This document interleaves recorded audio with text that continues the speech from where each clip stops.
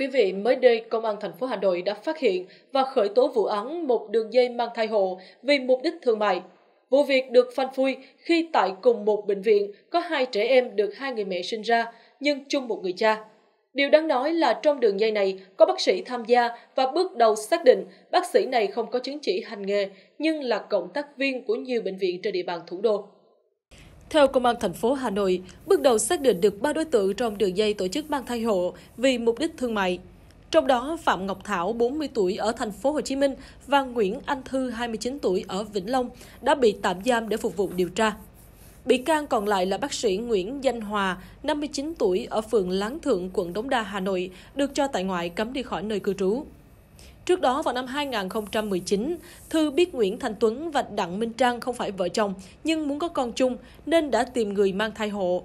Thư và Thảo chốt giá 480 triệu đồng cho một thai phụ. Nguyễn Thành Tuấn và Đặng Minh Trang muốn có con trai nên đã cấy hai phôi vào hai người phụ nữ.